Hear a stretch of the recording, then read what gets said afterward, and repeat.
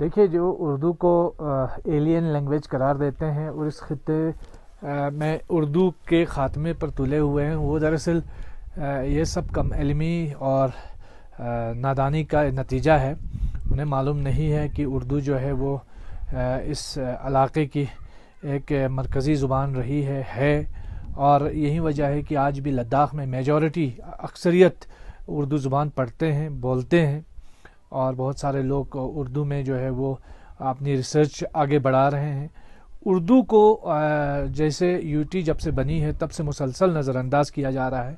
इससे पहले यहाँ स्टूडेंट्स में जो टैबलेट्स तकसीम हुए थे, उसमें भी उर्दू को नज़रअंदाज किया गया। उर्दू सब्जेक्ट उसमें पूरा गायब रहा। और जिससे उर्दू पढ़ने वाले हज़ारों यहाँ तलबा और तालिबात को दिक्कतों का सामना हुआ। इसके अलावा अभी नायब तहसीलदार और पटवारी के पोस्ट में जो ग्रेजुएशन के साथ साथ ग्रेजुएशन किसी भी कोर्स में कर सकता है आदमी, लेकिन ग्रेजुएशन के साथ साथ उर्दू नोविंग होना लाजमी करार दिया गया था, क्योंकि हमारा पूरा रेवेन्यू रिकॉर्ड जो है, वो उर्दू में है। और करगिल जैसे इलाके में जहाँ रेवेन्यू रिकॉर्ड हमारे यहाँ हमारे जो बल्तिस्तान में जो हमारे बहुत सारे गाँव हैं, उनका भी रेवेन्यू रिकॉर्ड हमारे करगिल में है, और ये टेक्निकल एक काम है। तो ये बिल्कुल वैसा ही है जैसे इंजीनियरिंग से वो मैथमेटिक्स को हटाने के बराबर है और एम पढ़ने वाले से साइंस को हटाने के मुतरदफ है। तो अनफॉर्चुनेट केस है, ये एक तंग नज़री तसब और हेड पॉलिटिक्स का नतीजा है जो हमारे तो ये बिल्कुल वैसा ही है जैसे इंजीनियरिंग से वो मैथमेटिक्स को हटाने के बराबर है और एम पढ़ने वाले से साइंस को हटाने के मुतरदफ है। तो अनफॉर्चुनेट केस है, ये एक तंग नज़री तसब और हेड पॉलिटिक्स का नतीजा है जो हमारी यूटी एडमिनिस्ट्रेशन और एमपी लद्दाख जो है, यहाँ उर्दू बोलने, पढ़ने और समझने वालों के साथ कर रही है।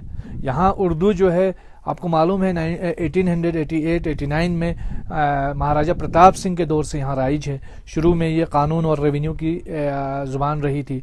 1940 में ये तालीम की ज़ुबान बनी। तो ये जो कहना कि ये इम्पोज़ किया है कश्मीरियों ने तो ये एक मखसूस इलाके और मखसूस लोगों के साथ नफ़रत का नतीजा है। अदरवाइज़ ये कोई इम्पोज लैंग्वेज नहीं है, ये इस इलाके की, पूरे इलाके की लैंग्वेज रही है।